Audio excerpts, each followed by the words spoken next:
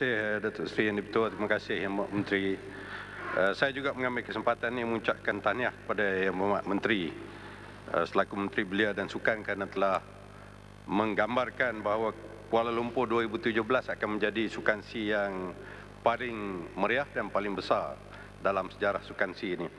Saya ingin uh, bertanya dua perkara. Yang pertamanya mengenai penyertaan kontingen Malaysia di dalam acara yang dikatakan sebanyak 398 acara berbanding dengan uh, pada tahun 2015 saya, saya rasa 329 acara.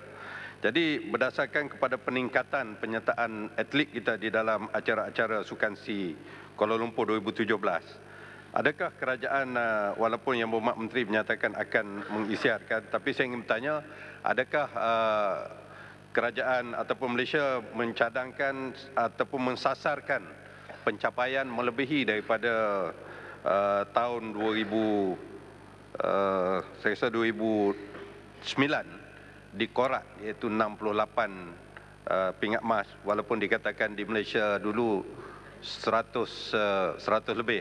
Jadi dengan uh, penyertaan yang lebih banyak iaitu 398 adakah sasarannya melebihi daripada pencapaian yang dicapai oleh kita pada tahun-tahun sebelum daripada ini. Terima kasih.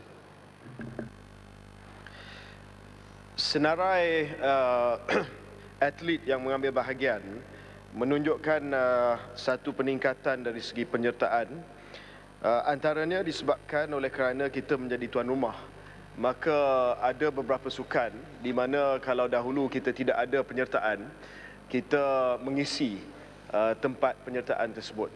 Tidak bermaksud bahawa semua yang menyertai ini ada sasaran untuk memenangi pingat ada kalanya kita menggunakan uh, temasya sukansi ini untuk memberi pendedahan kepada atlet pelapis kita yang mana mereka ini tidak mempunyai apa-apa sasaran buat masa ini tetapi mungkin untuk masa yang akan datang uh, mereka akan dapat bersaing untuk pingat tersebut uh, dalam uh, acara masing-masing dalam sukansi yang akan datang.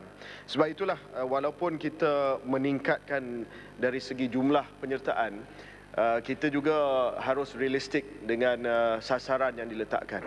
Ada kalanya kita masuk atlet itu untuk sasaran menang dan juga kita buat keputusan untuk mendedahkan seramai mungkin atlet kali ini.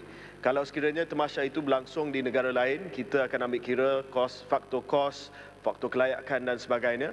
Tetapi kali ini oleh kerana kita menjadi tuan rumah, ini adalah masa yang terbaik untuk kita bagi pendedahan kepada seramai mungkin yang layak dan seramai mungkin yang dapat kita senaraikan kali ini.